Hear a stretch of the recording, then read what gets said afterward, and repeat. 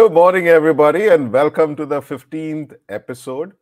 Hi, Aleem, how are you doing? This this music which we are playing now right in the beginning seems now become like a Friday morning alarm. It just keeps playing on my mind every day on Friday morning.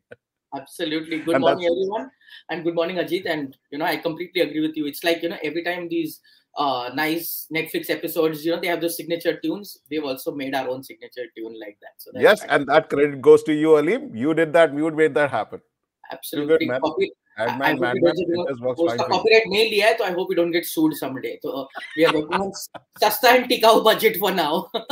absolutely, guys. All right, for guys, good morning. And we are at the 15th episode. My name is Ajit Panikar. I'm an Ascent member for 10 years and I lead Nova, an air conditioning company, and Pure Blue, a tech enabled startup in the air conditioning domain. And my co host, as usual, is Aleem. Aleem. Good morning, good morning, good morning, and good morning again. And my name is Aleem. I lead a company called Synapse. And what I want to be is somebody as suave and sophisticated as Ajit, but I don't have that kind of introduction. But yeah, good, good to see you all, all over here today. Thank you, buddy. But for all of you guys who are joining us for the first time, Ascent is a not for profit expression of Harsh Mariwala, Chairman Marico Limited, and his passion to identify high potential growth stage entrepreneurs and enable them to grow their enterprise and enrich their entrepreneurial journey. Launched in 2012, Ascent today empowers more than 850 entrepreneurs across India. Ascent is designed as a unique, powerful peer to peer platform that leverages the power of the collective through self facilitated groups called trust groups, which enables entrepreneurs to share and exchange experiences, ideas, insights, and create a healthy ecosystem to learn from each other learn from each other.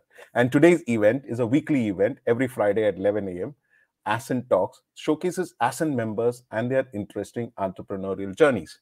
So today Aleem's going to introduce a very interesting guest from Amchi, Amchi mumbai and a fascinating story of how he gets started and what he's built. So Aleem let's bring in our guest Absolutely. We've done 14 shows. This is our 15th show, and there are a lot of interesting and inspirational stories that we've heard. But this one is some some story that really is going to be very interesting. So, introducing Prateek Kumar. Prateek dons many hats. He's an investor. He's the co-founder of Jharkhand Angels. He's a successful entrepreneur of Neoniche Group, a professional CEO, pro- prolific business writer, a motivational speaker. After spending more than two decades working with teams selling everything from fireworks to soaps to yellow pages and exhibition booths, Prateek chose to step out of his day job in 2011 to pursue his passion. And that's when he founded Neoniche, which has created a name for itself in the industry. Neoniche has won more than 25 awards in the prestigious Rising Star of India brand management company. He's also the most admired experiential marketing company and an emerging company of the year. Welcome, Prateek. Very, very good looking and very, very handsome and very glamorous smile. So here we are. Thank you so much, Aleem, and thank you so much, Ajit, for having me on Ascent Talks. He, he, kind of admired your beauty. What's wrong with you, Aleem? give him a break यार करो ये यार ये कोई तरीका तरीका होता है यार इंट्रोड्यूस करवाने का ब्यूटी एडमायर कर रहा है but I loved it. Aleem, thank you so much. Go for it. You are the Go for it. who has, who. I, I, swing only one way. Just want to let everyone know that. I'm glad. I'm glad you made it clear. Prateek, now let's get into the show and tell us about your business. Tell us about the nature of the business. Tell us about the scale. What is interesting about you, uh, your business? What are the clients? What are the USP? Just give us a nice intro about what you do. Okay, so I am I'm a co-founder of uh, a company called Jharkhand Angels which supports the startups coming out of be, uh, smaller towns and cities. It was in fact featured in Shark Tank first uh, first episode. Uh, I'm also a founder of uh, Neoniche Group, which was founded in 2011. Uh, we work as an omni-channel partner to B2B enterprise and their different stakeholders, and kind of build their entire marketing, uh, communication, marketing uh, experiences, build experiences around their stakeholders uh, that's that's what Neoniche is all about. As a part of Neoniche, I'm a part of Ascent. Nice. That's amazing, Prateek. But uh, Prateek, tell me something. You know, your business is. Let's be honest about it. You know, with the digital space and marketing, it, sometimes you know you feel it just tends to get a little overcrowded. is there space for so many people? What are the kind of disruptions that you see uh, around this whole space when it comes to your industry in terms of marketing and digital solutions? So, so human being, great example is a human being, right? We have evolved through the ages. And businesses mimic human beings, right? We evolve through the times. Uh, we are not using pager anymore. We are not using even those monochromatic phones anymore. Uh, we are using smartphones, and then now we are talking about AIs and VRs and ARs of the world, right? We are talking about chat GPTs of the world. Similarly, my business started as a corporate event company. Uh, we were all we were doing was creating experiences for our B2B corporate clients. Uh, and as a, as a, as a Sunday or a weekend project, we started something uh, which was called as Hive at that point of time. It was like a virtual event platform. We tried selling it for so many years, no one was no one was even buying it. Uh, we had only one buyer for, for almost 10 years who bought that service for princely sum of around 60,000 rupees for their resellers. That was the success of Hype. and then in 2020 pandemic came everything became virtual and suddenly the one product which was like a weekend test failed product suddenly became the hit over the last two years i think we we sold it so much eventually the virtual platforms are dying its own death but at some point of time you are doing something and you don't know when the time is ready right sometimes you are before time and you think the product has failed but product becomes the more relevant one at the same time, uh, in digital space, what is happening is there are spaces which are crowded in B2C market. So if you talk about digital agencies, they will say, I will manage your SEO, I will manage your SEM, I will make apps for you, I will make uh, dynamic websites for you. Uh, but actually, digital space is still evolving. It's still a lot more, and nobody actually is trying to do uh, any any any solutions for B2B market for digital space. Uh, last few years, last couple of years, when we have reached out to uh, clients for digital marketing, they were not that interested. But today, if you look at the B2B space, they are all about community building. They are all about managing loyalty online. So B2B loyalty programs. It's all about employer branding. Uh, it has, it has, it's still evolving, and it will go a lot more. It will evolve a lot more. We are still at the nascent stage. Just a quick question. And yeah, sorry, sorry go on. No, no, no, no. Uh, before I, I he, he bought about something called as Chat GPT, and I'm sure most of our viewers would have heard it. And uh, I, I wanted to pick up from what he just said on that Chat GPT.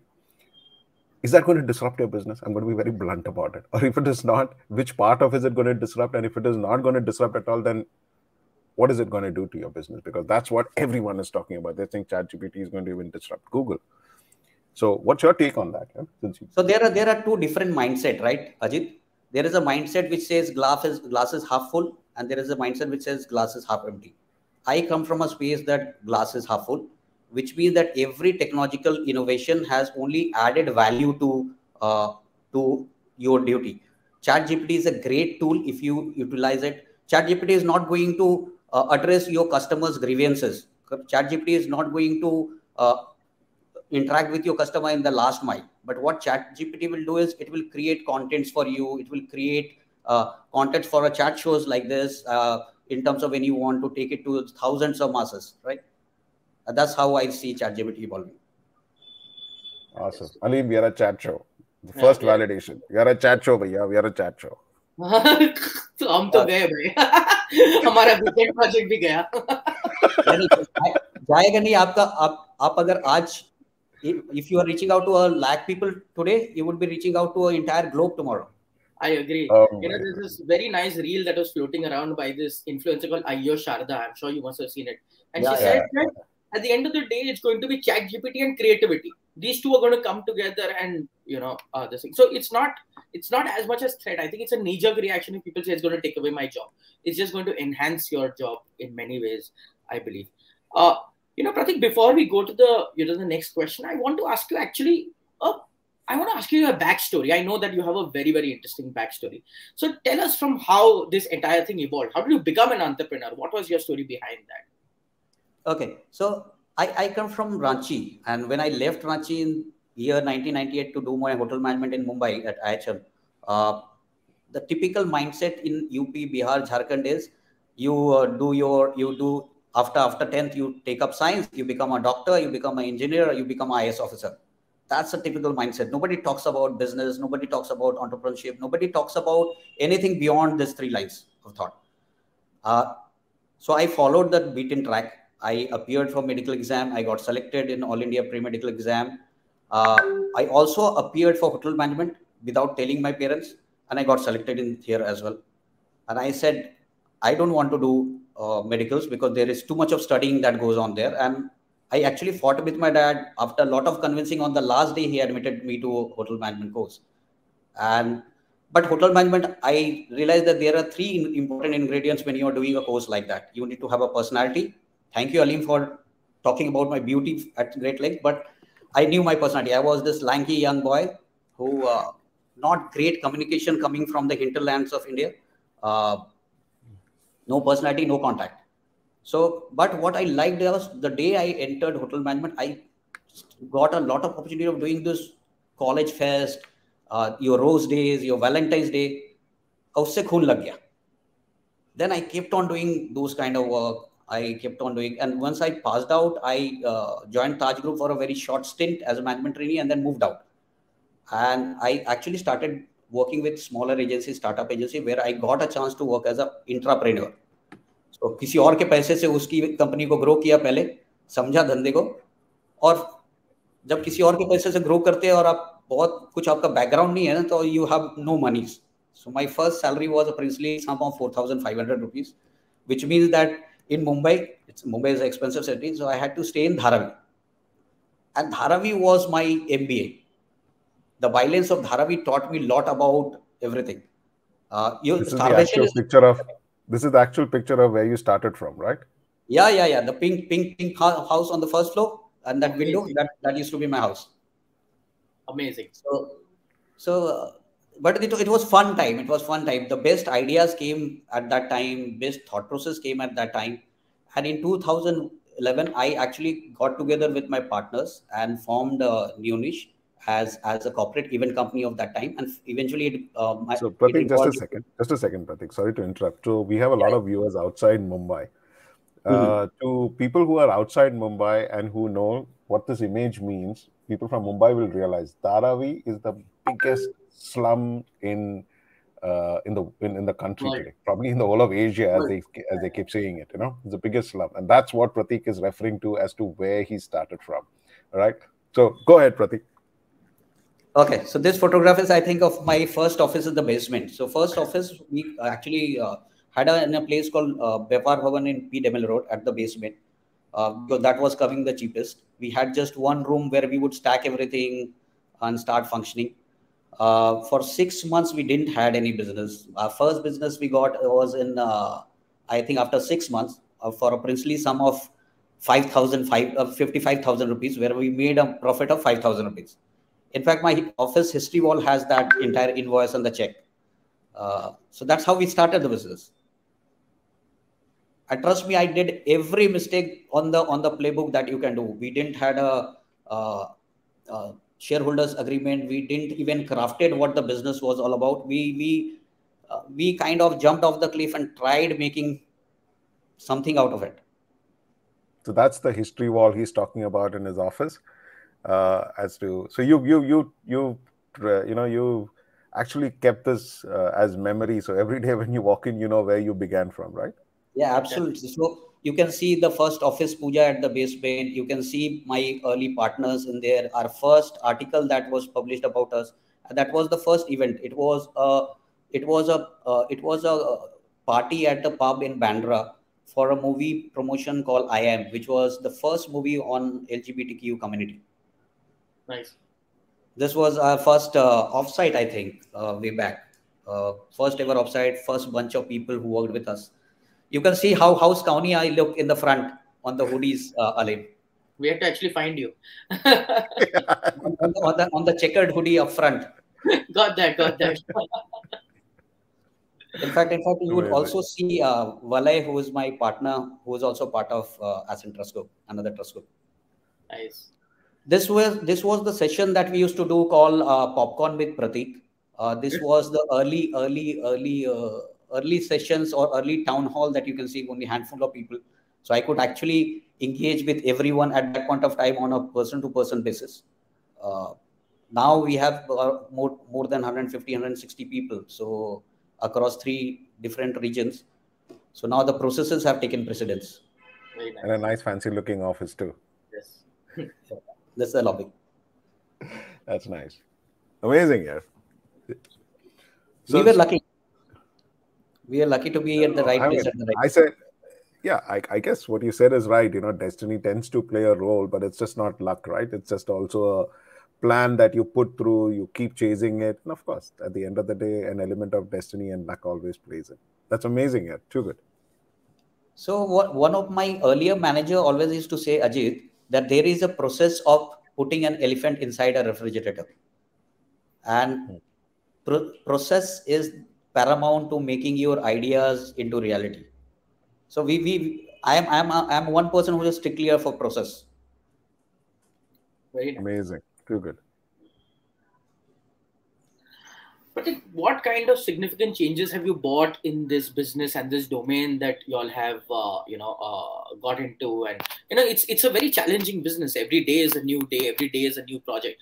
What kind of changes do you have you bought about? What kind of uh, revolutions does your business? Why do clients choose to work with you?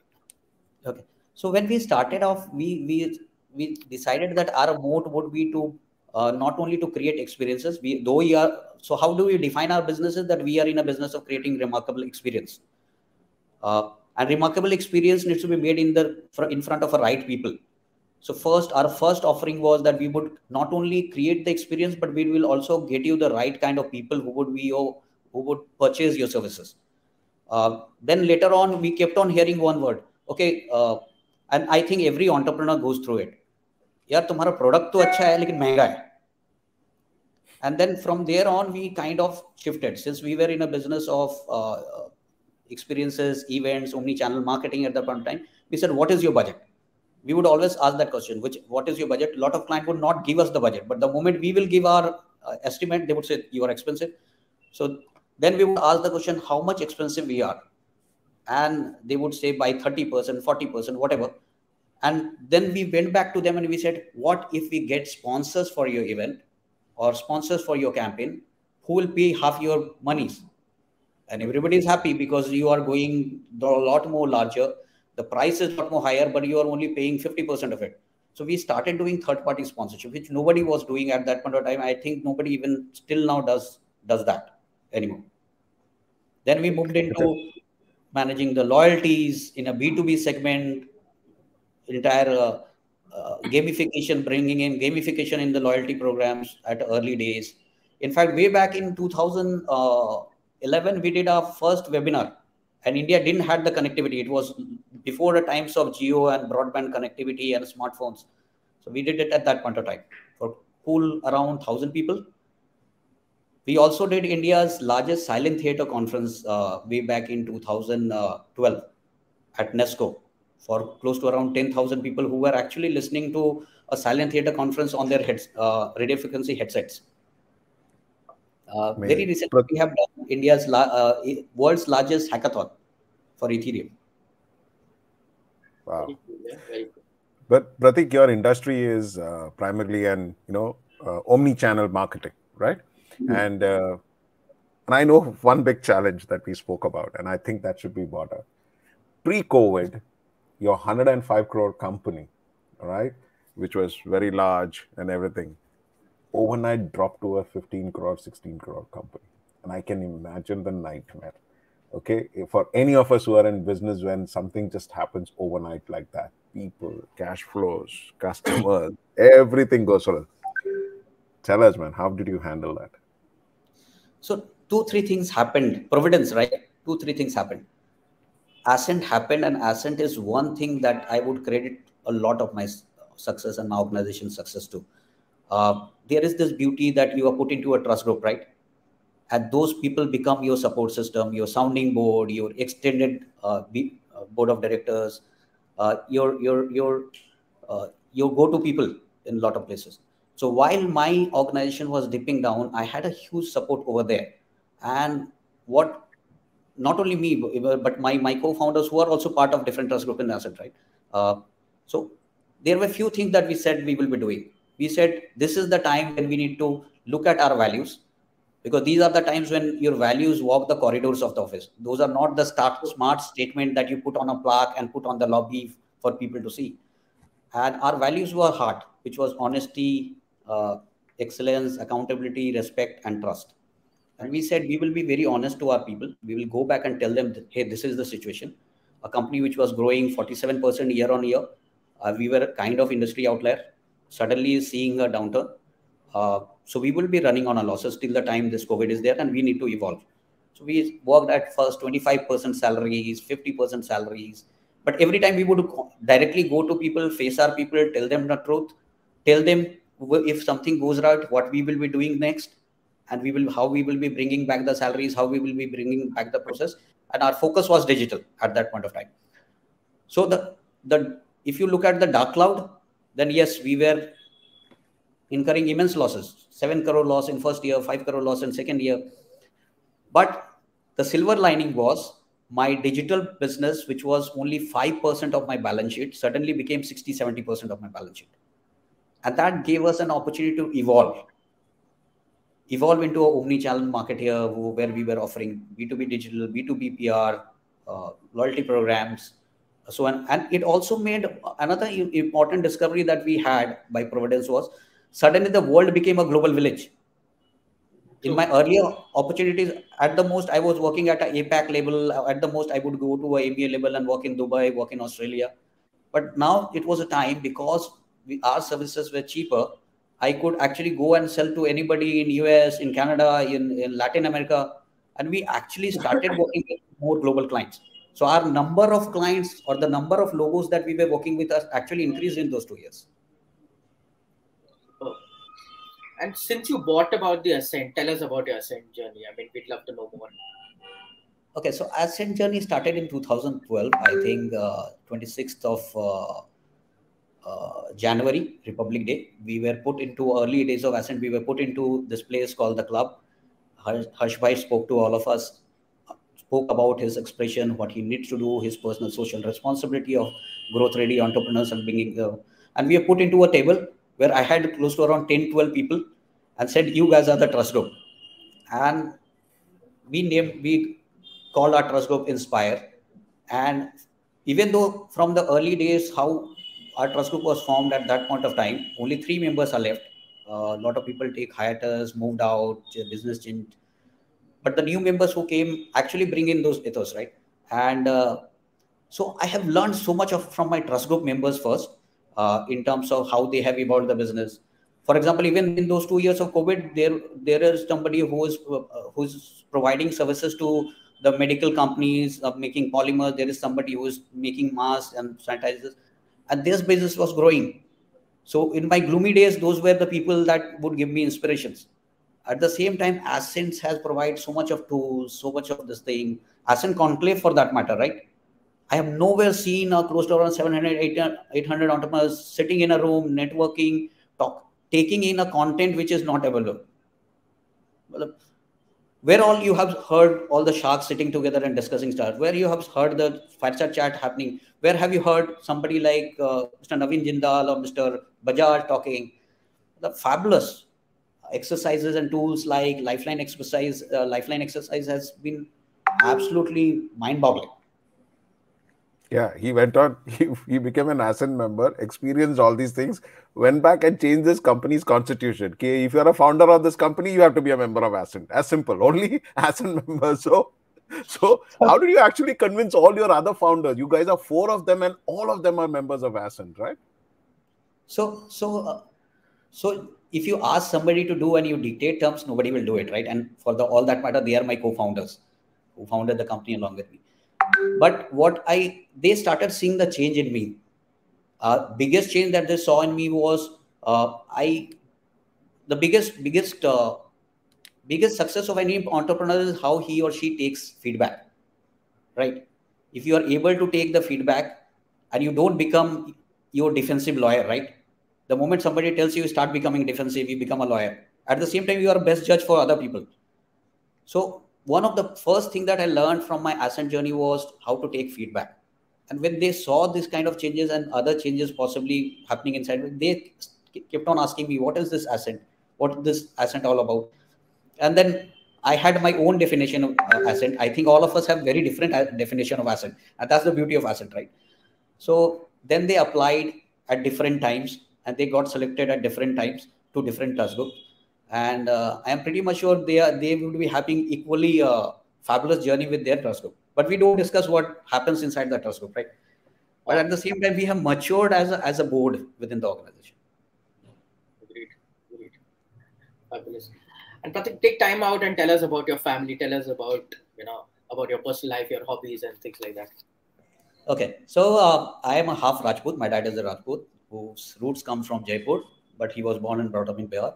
My mom's roots come from Bangladesh. Actually, she is a Bengali. Uh, her family migrated uh, at the time of partition to Calcutta.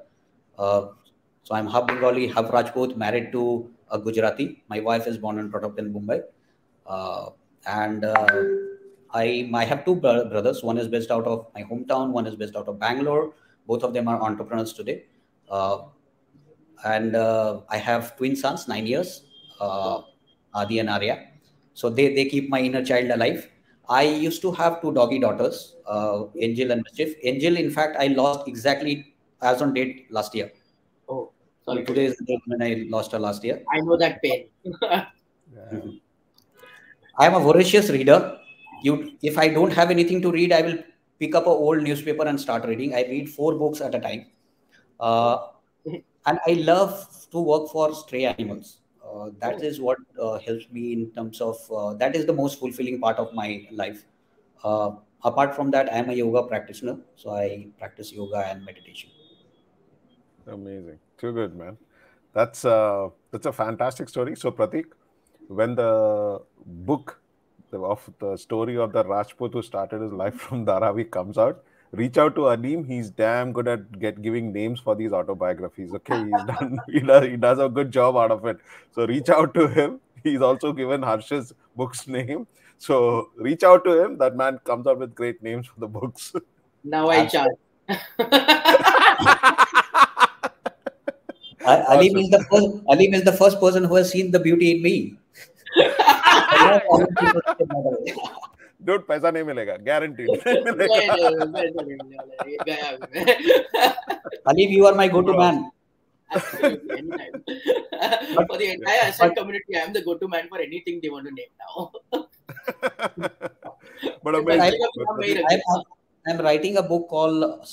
small town urban dreamers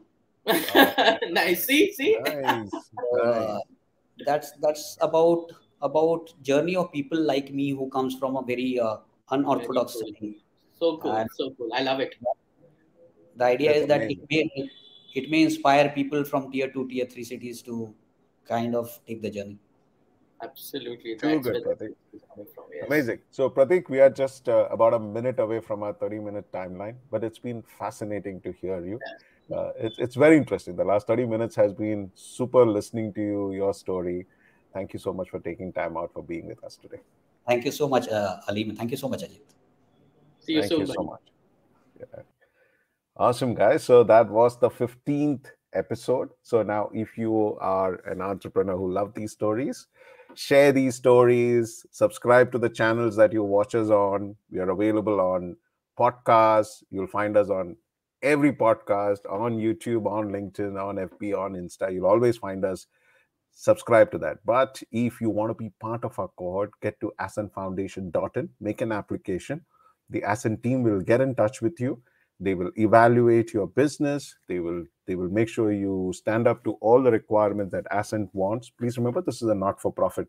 And it's not like a membership fee that you pay and you can buy that membership. But if you go through that whole journey of getting shortlisted, we'll have we'll be happy to have you as a member. So Thank you very much for joining us today. And we will see you next Friday at 11 a.m. with another interesting story. But before that, just for members from Mumbai, please remember there's a very interesting uh, event that is a members event which is coming up on 16th Feb at 6 p.m. at Jio Convention. So if you have heard about crypto and is wondering what the hell is digital rupee, come over to listen to Samir Shetty. He's going to talk about it. And what COVID does, you know what the impact of China is. There's a there's another speaker, Mr. Manoj Kewalramani. Uh, you should join us on the 16th Feb at 6 p.m. at Jio Convention. It's a members-driven program. Come over. You will enjoy this great net platform for knowledge and networking. So thank you very much. Thanks, Aleem. And we're going to meet you. you guys back again next week, Friday at 11 a.m. with another interesting story. Thanks a lot, guys. Bye. Have a wonderful weekend. Take care. Bye bye. Bye bye. See you. Bye bye.